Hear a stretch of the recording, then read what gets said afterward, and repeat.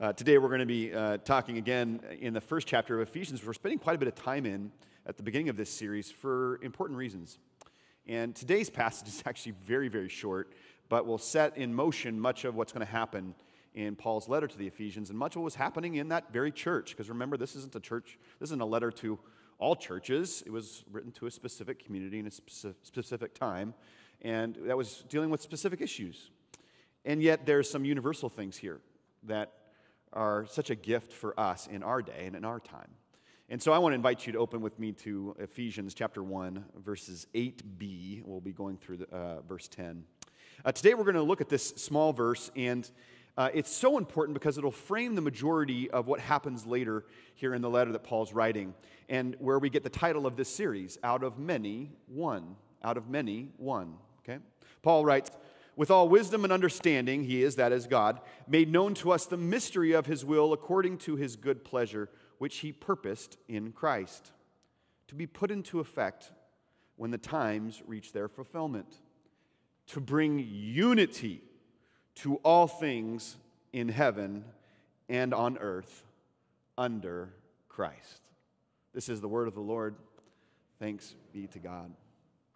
You know, as we all know, painfully, painfully, over the course of human history in the church, Jesus' followers, the same followers that Jesus prayed for unity in John's gospel, John chapter 15, the church has not had unity, has not been unified. There's been broken fellowship, broken unity, mostly around different interpretations and beliefs about how God works or what God's will is. The journey is of the church over the centuries one where unity has often died. Used to be when we had the yellow pages. Do you remember the yellow pages? Anybody? Yeah. The next service, I bet people will be like, "What are you talking about?" Right. But yellow pages open up to churches, and you would see pages and pages of different churches of different stripes and different traditions, different branches, different beliefs, different ways, all calling Christ's church.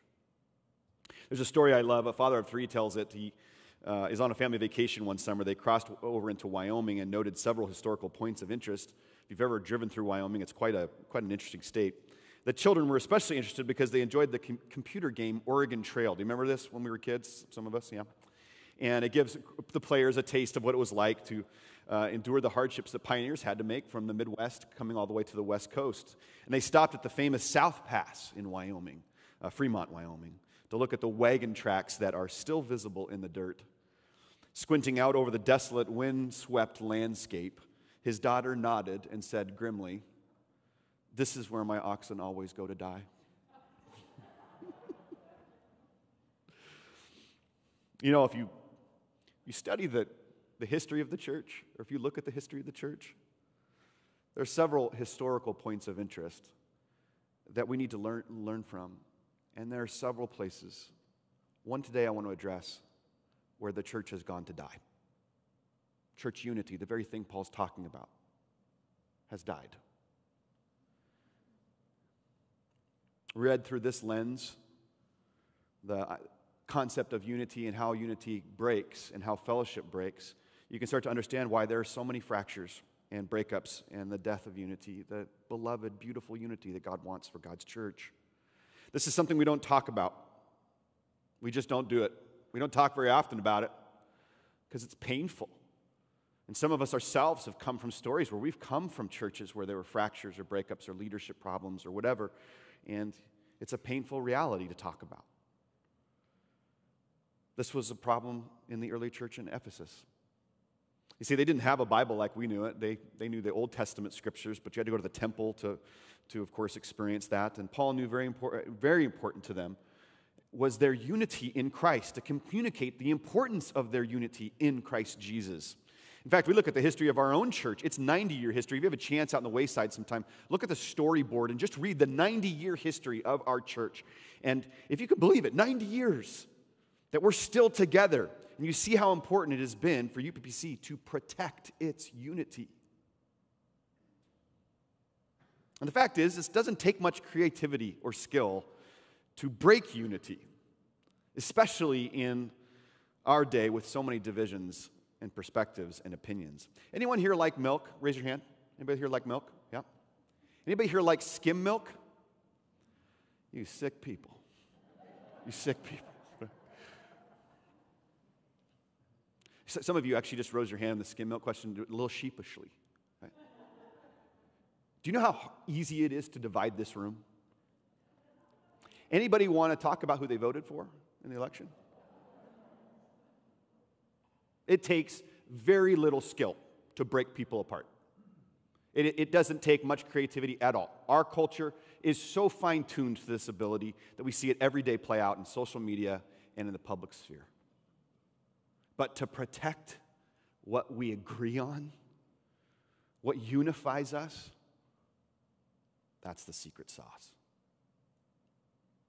And with a world of such differing opinions and conflict, it's just so easy to break fellowship. And it's the state of our times. But then imagine what happens when a church loses its unity or the work that that unity requires. Then you see what Paul was experiencing here in Ephesus disagreements. This is the first church. Holy Spirit was on the scene in the first church. And even there, there were disagreements and dissent and apathy and discouragement, even a loss of purpose and mission about what they were supposed to be and do. And to that, we read these words of God's heart through Paul's opening. God's heart is to bring unity to all things in heaven and on earth under who? Christ. Christ. Under Jesus. You know, one of the strongest New Testament Greek words that describes the early church, one of uh, Paul's favorite words, one of Luke's favorite words in the book of Acts. Some of people forget that Luke wrote Luke's gospel as well as the book of Acts. And it's one of the favorite words of the New Testament to describe this unity. But unity doesn't quite capture it. See, the word is homothumadon. Say it with me. Homothumadon, right? Rolls off the tongue. Right? Homothumadon. It's one of those words that probably shouldn't have been translated, honestly like hallelujah or hosanna. They don't translate those words into some form of English, they just leave it in the original languages because the word itself has such power. Are you following me? Homothumadon. Homothumadon is usually translated to have unity or to be with one accord or one mind. So we read in the New Testament, they were gathered, the early disciples, they were gathered in the upper room, homothumadon. We read that the followers were gathered at the disciples' feet to hear their teaching, homothumadon, because they were of one mind.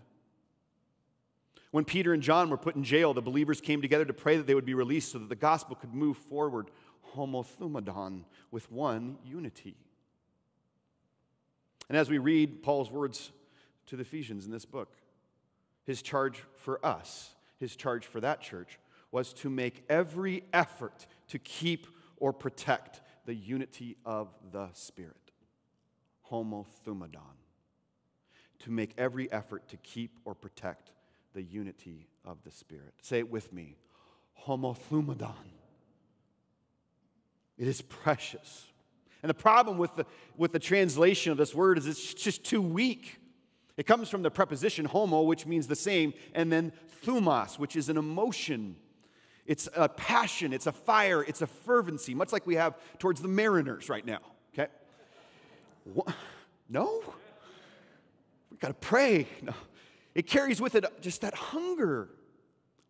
It's a thirst, it's a protective anger towards one unity, one mind that we have in Christ Jesus. In the English, we just can't get the thumos in there. We can't get the passion, the fire, the emotion, the intensity of it. And so, why do we have church fractures and disagreements? Well, let me help you understand how this works. And this is something that came to me years ago. Pastor Jim Mead shared it with our leadership team.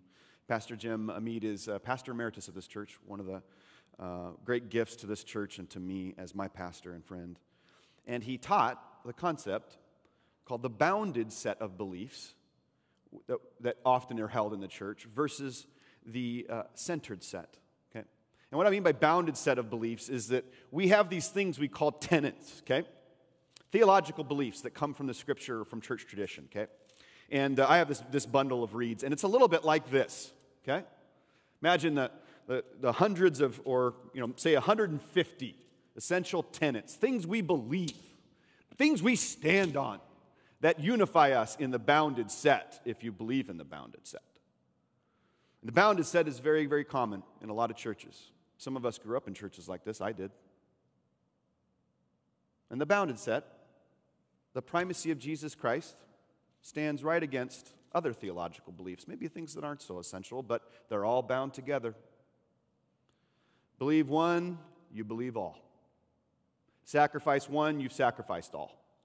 In fact, I know of a, a particular person in uh, adult education in a Baptist church. Old story was that he was a good Baptist. He believed all of the teachings of the church. He taught them for years and years, was quite gifted. But one day in his teaching, he taught something different. What do you think they did to him? What do you think his uh, role as teacher would be after that moment? Gone. You violated the scriptures. You violated the teaching of the church. That's the problem with the bounded set. The bounded set holds all essential tenets, all, or excuse me, all tenets uh, in general together. And many of us grew up in traditions that followed this theological conviction about how the church is to be. Okay? Problem is, it places the really important, let me say this again, it places the really important tenets alongside the less so important. And it presumes the mystery of God. Remember Paul's words first in this passage? Remember those words? He says, with all wisdom and understanding, God made known to us the mystery of his will. That's a key phrase. The mystery of his will is in Christ Jesus, not in theological tenets where we remove the mystery of God's will and way, but in Christ Jesus. And so it presumes in this bounded set that the mystery of God's will, as Paul said in this passage, is actually, you know what? It's knowable. We can, we can just bind these together with a big rope and uh, live out of that bounded set. I'm, I'm sorry, I'm fumbling with this thing. It's probably getting a little annoying, but, but you get the point, okay? Had the early church held these tenets from the very beginning, if the bounded set had continued throughout time, this is where we would be. Circumcision would still be required for every person in this room or Christians would no longer be bound by much that is found in the law of Moses, uh, uh, but we would still be worshiping on Saturdays, by the way. We would uh, be eating only what is kosher, offering animal sacrifices, administering capital punishment for everything from working on the Sabbath to the rebelliousness uh, on the part of children. How do we like that? Further, if we consistently applied the same assumptions about all beliefs held together, okay, then we'd have to apply the assumptions about what Paul teaches about women in the New Testament and the female members of UPPC in this room would pray with their heads covered. And they would remain silent in the church. They would not be permitted to teach in any church gathering where men were present. That's tough, isn't it? And some churches, by the way, if you haven't traveled much, still believe that tenet that women are to, are to be quiet and to be modest and cannot, cannot wear pants in church. God forbid, right? The problem with bounded set is it places everything on equal footing. Now, the centered set is something different. Now, here I'm just going to use the same analogy, but the centered set is what our tradition follows. And we believe in the essential, essential tenets of the Christian faith. They're actually in your bulletin, okay, underneath the order of service. We believe there are essential tenets that our officers, our pastors, and elders must agree on. Okay? 10 essential tenets. But the primacy of those tenets are the first two the mystery of the triune God and the eternal Word of God in Christ Jesus. It's the same thing Paul just said in our passage that everything will be unified. Everything will be unified in Christ Jesus. But we hold to a centered set. Now, does that mean that these other theological beliefs or theological disagreements or theological struggles or positions don't matter? Not at all. They do matter. There's a big, big pile of things that we have to deal with to live our faith in practice under the banner of the Lordship of God and of Christ Jesus. But we don't break fellowship over those things. We don't fracture the unity of the church over those things. We can agree to disagree over those things. We have to find a way. But what we agree on, at least for our officers, are the 10 essential tenets. Now, what's interesting is members, some of you may know this, but some of you have been members, maybe became members years and years ago, is there's only one thing that's required to be a member in the Presbyterian Church and in our church. You know what that is? To proclaim the Lordship of Jesus Christ in your life. And with that, of course, means that Jesus is Lord and, and is freeing you from the power of sin so that you can be a Christ follower. But it's about the Lordship of Jesus. That's, that's the only thing, the one thing that binds us all together is Jesus, the Lordship of Jesus.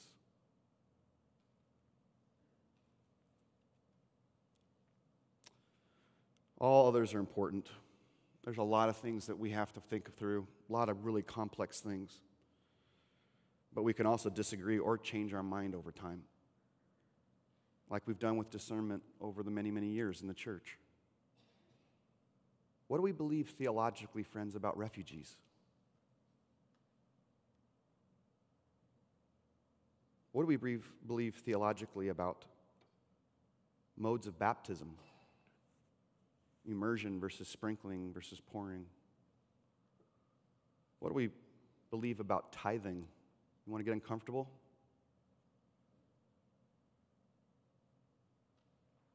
We've, we've discerned these things over many years. And there are differing minds on these subjects and disagreements, and that is okay because the homothumadon, the one mind, is still around the essentials is still around the primacy of Jesus Christ. I've had conversations with some folks these days about much of what they are feeling about me and the Embrace series we just came out of. And I say, again, you can disagree with your pastor. You can disagree on this conversation about Embrace because it's something we can disagree with and still keep our homothumadon, our unity, and our one mindedness in Christ.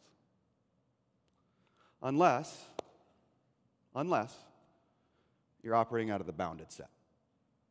And some people feel comfortable with the bounded set and feel better with the bounded set. And in many of conversations I've had these days, I, I say, you know, I think, I think you don't have a problem with the 10 essential tenets. You're just struggling because you have an 11th. And that 11th central tenet is worth breaking fellowship over. And that breaks my heart. All of us, at some point or another, all of us, from the very beginning of the church to now, have had an 11th tenet. We've had something that we cared so deeply about, and we thought this is worth breaking fellowship, breaking unity, breaking homothumadon over. The liberating truth and the liberating thing for what it means to be Presbyterian or part of the Reformed tradition that we're within is that the centered set is liberating, it is freeing. It lets us have unity on the essentials and then to work out and grind through the discernment that's required to live in our day, in our age. The Bible doesn't say anything about nuclear power. The Bible doesn't say anything about mass weapons of destruction and defense against our enemies in the form of kind of military power that we know now. There's so many things we have to discern. We have to trust the Holy Spirit. And we can still keep our unity. You hearing me, friends? I hope so. It's freeing when we come back to the centered set. And the key word that Paul uses is that Jesus, when it is all said and done, will unify everything in the created world, both in heaven and on earth. And that fulfillment, all of it, will come together, not in a list of laws or doctrines or those who got the beliefs right or those who behaved rightly. It's going to come together and be fulfilled in the person of Jesus who, who pours out his love and his life for each of us, sinners. And so, as we consider unity today, we aren't learning a list of to dos or a bounded, strict set of beliefs that we must adhere to. We have to follow the way of unity, which is the Spirit of Christ in a community of people. This is ultimately unity, according to Paul, and as we'll read in the coming weeks, a spiritual matter. It is a spiritual thing. It's not an intellectual thing, it is a spiritual issue. And as we consider Paul's words to the Ephesians, we find that we don't have unity because of each other, or because of this room, or because of this church, or because of a worship style, or because of an affinity, or because we all live in the same city. We have unity together because of one thing. And I hope this, I hope this stirs your heart. We have unity because of one thing Jesus Christ crucified. Amen? Do you know how many churches there are in Pierce County? You look on the yellow pages, look online, there's about 970 churches in Pierce County. Can't you believe that? According to Ephesians, according to Paul, how many churches are in Pierce County? One church. One church. One church in Christ. If we could all figure that out, be unified under that lordship, while we're working out the difficulties of other things, not to dismiss those, but if we could center ourselves on the Son of God, Jesus Christ, whose death wrote our names on the ribbon of life and draped that ribbon on the cross in order to save us from our sin. And the mystery of unity is later described by Paul when he says this, and I'll close. We are one body through one Spirit. We have one hope, one Lord, one faith, one baptism, one God and Father who is over all and through all and in all. Jesus. Let me pray. Lord, may it be so that we could withhold the temptation always in our lives to place the unifying oneship, the homothumadon that you purchased for us, front and center, the centerpiece of our theology, and a centered set where we can agree on the essentials and then work out the non essentials together with faith and hope and love. Help us to protect the unity of our church always here at UPPC, the gift that you have given us by the Holy Spirit. And through that unity, that we could show our world, our community, our neighbors, the powerful unifying love of Jesus that takes our differences and makes them beautiful. and makes it possible for us to worship and have fellowship together. And so today we pray for the unity of our own hearts. And maybe some of us have struggled to keep that homothumadon, or maybe we've neglected the work of homothumadon, renewing us once again a centered set mentality where we don't break fellowship, we don't break union with each other and with you. We keep ourselves centered on the risen Christ, Jesus, our Lord and our Savior. May it be so in this church from its inception 90 years ago to today and so far on into the future, the great future you have planned for this church. I pray, and we pray in your name, Jesus Christ. Amen.